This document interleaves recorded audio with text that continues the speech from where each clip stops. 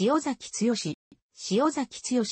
塩崎号、1982年1月21日体は、日本のプロレスラー。熊本県熊本市出身。血液型 AB 型。東海大学、第二高等学校、現、東海大学附属熊本星、小高等学校卒業。プロレスリングノアでデビューし、全日本プロレスを経て、現在はプロレスリングノアへ再所属している。兄一人と姉一人を持つ第三子として生まれる。プロレスファンである兄の影響で、小学2年生の頃より、プロレス、特に全日本プロレスをテレビ観戦するようになり、超世代軍のファンとなる。小学3年時よりやり始めた少年野球では、4、5番打者を任される保守を務め、地元、熊本の東地区優勝を果たしている。同様に、小学校時代はエースで4番を務める野球選手で後に、東海大寺高の1学年後輩となる女子、プロゴルファーの小賀美穂と少年野球の試合で対戦したこともある。熊本市立西原中学校では、バスケットボール部に入部、ポジションはセンターフォワードを務め、3年時にはキャプテンを任された。高校に進学してもバスケを継続、2年時よりレギュラーとなり、熊本県でベスト4という成績を収めている。高校卒業後、警察官の父に習い警察官採用試験を受験するも失敗、公務員予備校に通いながらフリーター生活を送っていた。そんなある日、プロレスリング、ノアの創業者である三沢光春の茶家、プロレスラーは根性さえあれば誰でもなれるという発言をテレビで耳にし、またある日には野球経験者で格闘技経験がないという共通項のある小林健太、後野健太、現、秀夫民が全日本プロレスの新人テストに合格したという記事を週刊プロレスのバックナンバーを再読中に目にする。それらに感化された塩崎は子供の頃は住む世界が違う、慣れるはずがないという理由で自らの職業とする考えはなかったプロレスラーになることを思い立つ。後日、三沢が小橋健太に対し花道からの弾劾式、タイガースープレックスを刊行した2003年3月1日の GHC ヘビー王座戦をテレビ観戦していたところ、プロレスリングの話題2回新人公開オーディションの告知の練習生募集のテロップを目の当たりにする。必要書類を送付したところ、書類選考を通過する。受験直前にはすでに合格できるだろうという自信があったという2003年4月17日実施の体力テストにおいて参加者23名の中の合格者6名のうちの1人となり、1週間後に入団21歳。憧れていた小橋の付き人となり、後に合宿所の寮長も務めた。2004年6月26日、22歳、この日、京都 KBS ホールで行われたバトルロイヤルでプレデビュー。同年7月24日、ディファ有明での秋山準橋誠戦、パートナーは、本田多門にて、正式デビュー。第2回入門テスト合格者6名の中で、唯一デビューまでこぎつけた。ノアでは、2001年12月24日の鈴木鼓太郎、当時は、鈴木康弘以来2人目となる生え抜きの新人デビューであり、初のヘビー級からのデビューである。なお、デビュー翌日25日の長岡市、厚生会館大会の第1試合で行われた初シングル戦の相手は、杉浦隆であり、試合は、杉浦のジャーマンスープレックスホールドで敗れている。2004年11月21日、宮城県スポーツセンターで行われた、健太、宿撃7番勝負最終戦の丸藤聖堂対、ケントの試合後、グローバル、ハードコアクラウン無差別級王者である丸藤に、15分時間切れ場合、王座移動というルールで挑戦するも、時間切れ12秒前に、白縫いで敗れる。2005年1月のシリーズで、塩崎号7番勝負が全試合行われた。相手は、小川義成、秋山仁斎藤明俊、三沢光春、リック・スタイナー、田上明、小橋健太、試合順。相手の得意技を出すなど検討するが、0勝7敗で終了した。同年4月24日の日本武道館大会で、天竜源一郎、秋山仁相手に、小橋と指定タッグを組んで戦った一戦は、天竜のパワーボムで、塩崎が敗れた。2005年8月24日、福島市国体記念体育館大会の対エリ、エドワーズ戦において、ムーンサルトプレスでピンフォール勝ちを収め、シングル戦初勝利を収めた。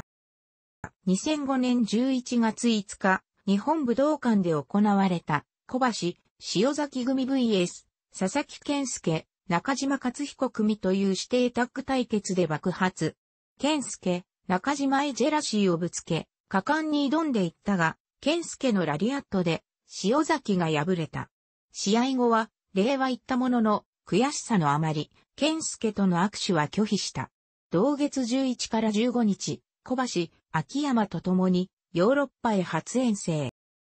2006年1月11日、後楽園、ホール大会の健太とのシングルマッチにて、フィニッシュに、ゴーにスリープの膝を顎で受けてしまい、同箇所を骨折。全治3ヶ月の重傷を負って欠場。同年6月9日、選手会工業にて復帰。当初の復帰予定はまだ先だったが、谷口周平の怪我による欠場で、急遽出場の運びとなった。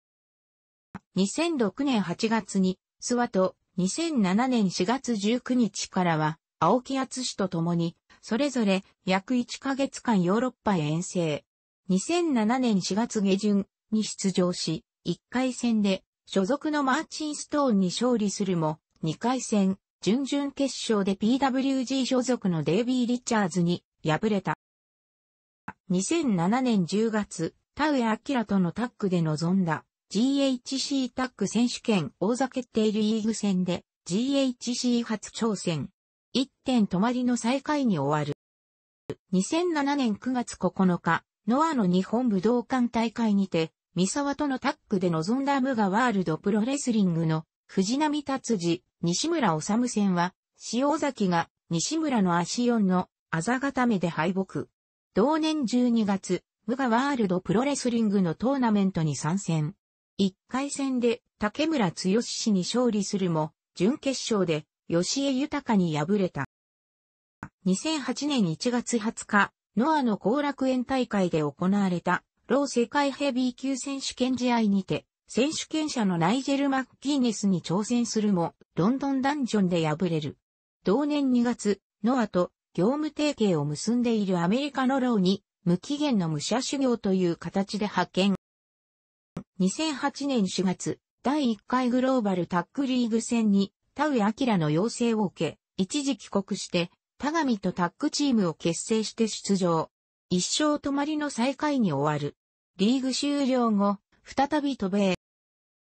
2008年8月23日、フロリダ州、クリスタルリバーでが君臨するフィップ、世界ヘビー級王座に挑戦。ムーンサルトプレスで勝利し、同タイトル、第7代を獲得。同年9月1日、WWE のセントルイス大会のダークマッチに出場、ジミー・ワンヤンと対戦し敗北。この直後、同団体より所属契約のオファーが届き、塩崎本人もやってみたい気持ちはあったというが、3年という契約期間が三沢社長の想定を超えていたことや、日本テレビのノアの地上波放送が翌年3月をもって終了することが内定していた、気ということもあり、契約は成立しなかった。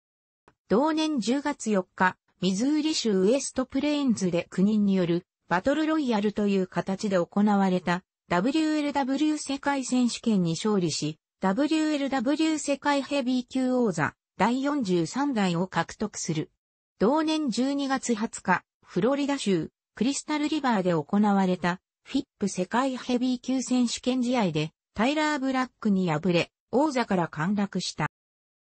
その後、風格、肉体も大きくなって外戦帰国し、2008年12月23、24日にティファ有明で行われたザトーナメント08に参戦。1回戦で森島武史、2回戦で小川とチャンピオン経験者を連覇する形で準々決勝、3回戦に進出するも当時 GHC ヘビー級王者であった佐々木健介に敗れる。しかし、その後も力子もうバイソン・スミスなど、チャンピオンクラスの先輩選手を次々撃破している。この頃、寮生活を卒業し、一人暮らしを始めている。2009年3月1日、ノアの日本武道館大会にて、杉浦隆とタッグで自身初の新日本プロレスとの対抗戦となった中村晋介、ミラノコレクション AT 戦では、塩崎がミラノに勝利した。2009年4月19日、自身初の GHC シングル挑戦となった札幌月サムアルファコートドーム大会における秋山戦にて、スターネスダストアルファで敗れ王座ダッシュに失敗する。2009年5月6日、三沢とタッグチームを結成し4月11日より臨んだ第2回グローバルタッグリーグ戦の最終戦が日本武道館で行われ、佐々木、森島組と対戦。5-1ラリアットで森島から勝利を奪い、合計9点をマークして優勝を決める。2009年6月13日、広島グリーンアリーナ大会にて、斎藤明俊、バイソン・スミスが持つ GHC タックのベルトに三沢と挑戦するも、ダッシュに失敗した。この試合で、三沢がリング化により、急性、詳細は三沢の項目を参照。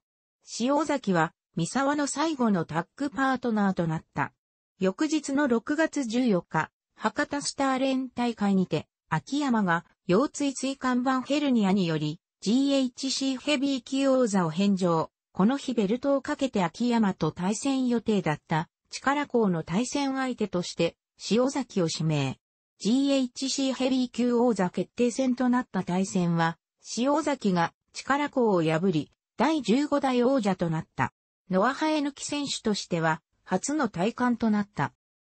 2009年7月5日、ディファ有明で行われた選手会興行にて当時 GHC ジュニア王者であった KENTA との GHC ヘビー対ジュニアのシングル対決が実現。垂直落下式変形リバース DDT でケンタから初勝利を奪う。2009年10月、トリプル A 遠征。健三鈴木、現、健祖、杉とトリオタッグを組む。2009年12月6日、日本武道館大会での GHC ヘビー級選手権で挑戦者の杉浦に、なだれ式オリンピック予選スラムで敗れ、二度目の防衛に失敗した。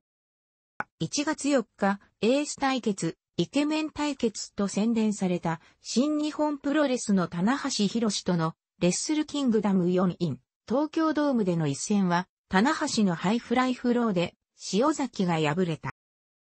1月、テーマ曲を Keep On Going から ENFONCER に変更し、臨んだ第3回グローバルタッグリーグ戦であったが、同月16日の佐野巧真、高山善廣戦にて、佐野に対するダイビングニードロップの着地の際、右腕を負傷。後日、右しおり骨骨幹部骨折及び、右肘内側側副人体損傷と発表され、1月19日からの試合を欠場した。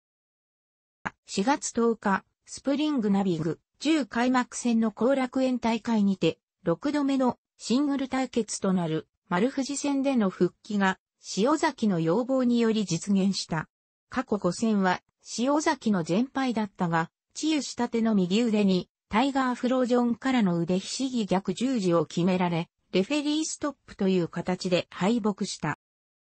5月23日、新潟市体育館で行われたトリプル A 世界タッグ選手権で王者組の森島、武史、石森太志に青木厚志とのタッグで挑戦。塩崎が石森に勝利し、トリプル A 世界タッグ王座第6代を獲得。同年6月6日、メキシコシティで行われたにて、トリプル A 世界タッグ選手権4ウェイマッチで敗れ、王座から陥落した。6月19日、新日本プロレスの大阪府立体育会館大会で行われた E1 ウップヘビー級王座選手権で同王座初挑戦。王者の真壁がたなぎにキングコングニードロップで敗れ、王座ダッシュに失敗した。7月30日から8月1日、金丸と共に4度目の欧州遠征。8月6から15日に行われた新日本プロレスの G1 クライマックスに初出場。4勝2敗1分けで9点を獲得し、B ブロック2位タイの成績を収めた。同月22日、ノアの有明コロシアム大会にて、G1 で30分時間切れ引き分けとなった新日本の中村晋介と再戦、変形号フラッシャーで中村に勝利した。10月30日、後楽園、ホール大会において、小太郎、小川と新ユニットを結成。名称は未定だったが、後日各マスコミにより、塩崎軍の名で定着するようになった。12月3日、イグフが両国国技館で主催した猪木ボム BAU2012 参戦。沢田敦と対戦し、ゴーワンラリアットで沢田から勝利を収めた。1月4日、レッスルキングダム部員、東京ドーム大会でリベンジを申し込んできた中村と対戦。中村のボマイエで敗れた。同月15日、秋山復帰戦となる大阪府立体育会館大会の秋山斎藤組、V 塩崎谷口組にて、ゴーフラッシャーで秋山から初勝利を果たした。5月1日、海援隊土女に初参戦。滝沢博士と対戦し、ゴーワンラリアットで勝利する。同月中旬に GHC ヘビー級ベルト最多防衛記録を塗り替えた王者、杉浦隆への挑戦を表明していた一人である。斎藤を5月25日の後楽園大会で破り、その場で杉浦に対し挑戦を表明するも、同時に森島も挑戦を表明。杉浦がどっちでもいいよ。次のディファあたりで決着つけろとコメントしたことで、6月11日に潮崎対森島の次期挑戦者決定戦が行われた。森島の重量攻撃に圧倒されながらも、三沢の得意技だったエメラルドフロージョンやランニングエルボーを使用、ゴーワンラリアットで森島から初フォール勝ちを収めた。7月10日、有明コロシアムで杉浦との GHC ヘビー級選手権試合が行われ、30分近くに及ぶ激闘の末、変形リバース DDT で勝利し、自身2度目の戴冠を果たした。これに伴い、8月27日のオールトゥゲザーのノア、選手代表を杉浦と交代することとなった、当時のオールトゥゲザーの対戦カードは発表されていなかったため、これといった大きな支障はなかった。同月23日、大阪大会で行われた小橋健太復帰戦で小橋のパートナーとして出場。また、同日の GHC タッグ選手権終了後に、谷口周平とのコンビで王座防衛に成功したジャイアントバーナード、カール・アンダーソン組に挑戦を表明。10月31日に GHC タッグ戦が行われ、ダッシュに失敗。8月7日、反体制ユニット、ノーマーシーの対抗勢力として結成された、アンチノーマーシーユニオン、略称、アンムへの加入を表明。同月27日、新日本プロレス、全日本プロレスのは合同開催のオールトゥゲザーに参加。7月の GHC 大会に伴い、メインイベントで、棚橋博士、諏訪間とタッグを組んで中村、健祖、杉浦組と対。この試合において、棚橋、諏訪間と一緒になって、杉浦にトリプルドロップキックを見舞う光景の写真は、3団体が一つとなった証として、オールトゥゲザーの写真の中でも、屈指の知名度を誇ることとな。9月7日、年上女性と結婚したことを発表した。11月27日、有明コロシアムにて行われた GHC ヘビー級選手権試合で、グローバルリーグ戦2011準優勝のケンタと対戦、勝利を収め3度目、初防衛の相手は、秋山仁志、二度目の防衛は、高山義弘の防衛に成功した。1月22日、大阪府立体育会館で行われた GHC ヘビー級選手権試合で、森島にバックドロップで敗北、4度目の防衛に失敗した。2月19日、仙台サンプラザホールで行われた、オールトゥゲザーもう一回、一つになろうぜにて、真田翔也、内藤哲也とのタッグで、森島、諏訪間、棚橋とメインイベントで対戦するも、森島に敗北。なお、塩崎とのタッグで、秋山斎藤の持つ GHC タッグベルトに挑戦を表明していた小橋が、同大会で両膝を負傷し長期欠場。代役として、武藤刑事の参戦が決定したものの、ノンタイトル戦との発表がなされたため、塩崎は秋山からタイトルマッチとして戦いたいとの要求を突きつけられる。塩崎は後日全日事務所に出向き、武藤に GHC タッグ王座戦として戦うことを懇願。武藤はこれを受諾し、同王座戦の開催が決定した。3月18日、横浜文化体育館にて GHC タッグ王座戦が行われたが、秋山にスターネスダストで敗れた。その場で秋山から秋山軍入りを要請され、握手を求められるも拒絶したが、4月14日の大阪府立体育会館第2競技場で行われたグローバルタッグリーグ戦にて、マイバッハ谷口の反則攻撃にさらされていた秋山を救出、秋山軍加入を表明。秋山軍は後日正式名 SAT と発表された。7月22日、ノア初進出となった両国国技館大会にて GHC ヘビー王座を王者森島と争うも敗れた。7月20日から8月5日に行われた ZERO1の火祭り2012に参戦、最終日の後楽園、ホール大会にて、大谷晋二郎に、豪腕ラリアットで勝利し、A ブロックを3勝1分イコール7点で優勝。決勝で田中将斗と対戦するも、田中のスライディング D で敗北した。10月26日、新潟市体育館で行われた GHC タッグ王座戦にて、斎藤とのタッグで王者組のケンタマイバッハ谷口に挑戦、リミットブレイクでケンタから勝利。王者組の初防衛を阻止するとともに、塩崎にとって同王座6度目の挑戦にして初体感となった。しかし、12月9日の両国大会における挑戦者組の丸藤杉浦との防衛戦にて、杉浦のオリンピック予選スラムに潮崎が敗れ、初防衛に失敗した。12月、年内をもってプロレスリングノアを退団する旨が会社より発表、12月24日の有明大会を最後に退団した。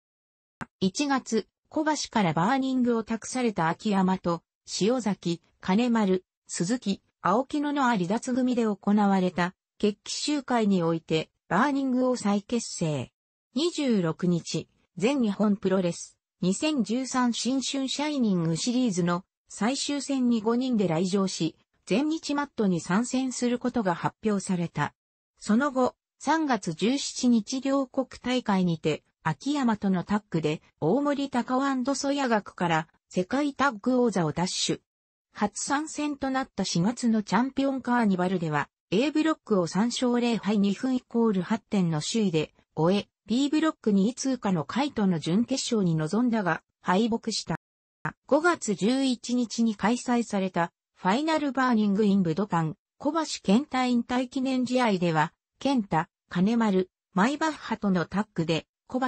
武藤、秋山、健介と対戦。小橋、健介と逆水平合戦を繰り広げた。7月5日、新体制を迎えた全日本プロレスに正式入団。同月14日、後楽園、ホール大会のメインで、スワマとのシングル3本勝負に臨み、2勝1敗で勝利。8月25日大田区総合体育館で行われた自身にとって三冠初挑戦となる王者スワマとの35分を超える王座戦はスワマのラストライドに敗れた。9月初開催となる王道トーナメントを勝ち上がり、23日名古屋国際会議場大会にて、あけぼのと優勝を争うも横綱インパクトで敗れ、準優勝に終わった。10月22日、新潟、三条市栄体育館で行われた世界タッグ戦にて、挑戦者組の諏訪魔ドーリングに敗れ、4度目の防衛に失敗した。同月、鈴木、青木と共にバーニングを離脱。11月18日、その3人に、 KENSO を加えた新ユニットエクシードを結成。同月21日、初陣となるタッグマッチで、早速 KENSOの裏切りにあってしまうが、新たに宮原健斗が加わり、改めて新ユニット始動となった。11月30日から開催された世界最強タッグ決定リーグ戦を宮原とのタッグで戦い2位となり、12月8日、大阪府立体育会館第2競技場にて、スワマドーリング組との優勝決定戦が行われたが、宮原がスワマに敗れ準優勝に終わった。2014年9月、第2回王道トーナメントに出場。1回戦で三冠王者の浄土リングに勝利すると、そのまま勝ち進み、優勝決定戦で、スワマと対戦して、これに勝利し、同トーナメント初優勝となった。2015年1月3日、浄土リングをランニングからのゴーワンラリアットで破り、第51代三冠ヘビー級王者となった。5月6日、後楽園、ホール大会にて、アケボノ吉江豊の保持する世界タッグ王座に宮原健人とのタッグで挑戦。試合は見事相棒の宮原が吉江をジャーマンスープレックスでピンを奪い、世界タッグ王座獲得とともに、史上10人目の五冠王となった。2015年9月30日付で全日本を退団。11月11日に古巣のプロレスリングノアへの参戦が明らかになり、同月20日の後楽園ホール大会に来場することとなった。2016年1月31日、横浜文化体育館大会で、鈴木実と一騎打ちを行い、1月9日より、昨年全日本を退団し、フリーとして活動中だった金丸と結託するも、同試合で突然パートナーの金丸が、まさかの裏利行為で、鈴木の勝利をアシストしてしまった。また、試合後に谷口と共闘することとなった。3月17日、谷口とのタッグで、ランス・アーチャーデイビー・ボーイ・スミス・ジュニア組の持つ GHC タッグに挑戦するも敗北。5月28日、杉浦の持つ GHC ヘビーに挑戦し勝利し、大坂入り咲きに成功した。6月12日、エメラルド・スピラッツ2016インコ楽園にて、シェルトン X ベンジャミンを相手に防衛戦を行い勝利。試合後ノアに入団を要請すると、丸藤がノアのロゴ入りのジャージを塩崎に渡し、祭壇が決まった。ゴーという名前は、強い体を持って健康的に生きてほしい、強くたくましく育ってほしいという願いを込め、父親によって名付けられた。実際、塩崎の体は、生体や針治療を受けに行っても、あなたは健康だから来なくてもいいですよと言われるほど、健康だと秋山仁が語っている。子供の頃の塩崎について、父は、豪は特にやんちゃでもなくて、悪い意味での話じゃなくて、天意無法という感じの子でしたね。良識がある、元気の良い子だったけど、まあ、普通の子供でしたよ。と語っている。また、塩崎の人柄に関して、お行儀のいい選手という意見があるのに対し、塩崎は育ちがいいですからね。お行儀もやっぱりいいでしょうね、とコメントしている。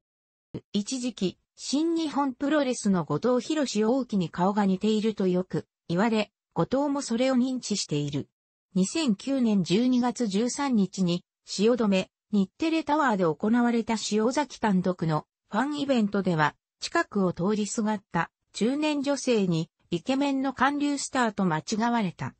2013年、週刊プロレス9月25日号の女性読者アンケート結果発表のコーナーにおけるイケメンだと思う選手部門で2位に選出された1位は岡田和親。また、2015年2月16日放送の目覚ましテレビプロレス女子特集においてイケメンだと思うプロレスラー2位に選出された1位は福光太、3位は棚橋博士。趣味は SIC など仮面ライダー系のフィギュア収集やカードゲーム、仮面ライダーバトルガンバライドのカード収集。仮面ライダーの作品はすべて愛好するが、とりわけお気に入りなのが仮面ライダー狂気。ストーリーもいいですが、それぞれのキャラがしっかりしていて最高ですとのことである。なお、ノア対談時に着用していた、試合用タイツには小さくではあるが、仮面ライダースカルのロゴが入っていた。鈴木小太郎が塩崎のことを同じ秋葉原を愛する男としている。三沢光春から大好きな超人気メタルダーの DVD ボックスをプレゼントされたことがあり、ノアの携帯公式サイト内の三沢との日記で感謝の言葉を述べている。小学生の頃から漫画を読んでおり、エンジェル伝説、ロクデナシブルーズ、渡るがピュン、などを愛読していた。カラオケの18番は、チャゲアシカの、ややヒュー、増井山王の白の、そんな女の独り言。フリーーター時代に、調理場を経験し、新弟子時代に、ちゃんこ番を長く務めており、料理が得意だとされている。得意料理は、角煮、とんかつなど。プロレスラー以外の職業では料理人に憧れていたほどで、プロレスラーとなった現在でも凝った料理を作ることがある。2008年、遠征先のアメリカをバスで移動中、移動先のホテルで初めて出会った白人男性に体を触られた上、唇まで奪われそうになったことがあるが、アメリカ遠征での一番の思い出として、ラスベガスにて試合前に食べたケンタッキーフライドチキンで食中毒を起こし、そのまま試合に出場することになり苦しい思いをしたことを10回している。他にも2009年10月、遠征先のメキシコのレストランにて食事中、現金、パスポート、携帯電話などの貴重品が入ったバッグを盗まれるという被害に遭っており、塩崎自身、どうも海外は相性が悪いみたいと語っている。ラリアット、逆水平チョップ、ムーンサルトプレス、フライングショルダーアタックなど、師匠の小橋が現役時代に愛用していた技を多く用いている。塩崎はそのことについて意識して真似しているわけではないが、一番近くにいる人なので似てきてしまっているのだろう。使い続けていくうちに小橋さんではなく自分のものにしていくとコメントしている。楽しくご覧になりましたら購読と良いです。クリックしてください。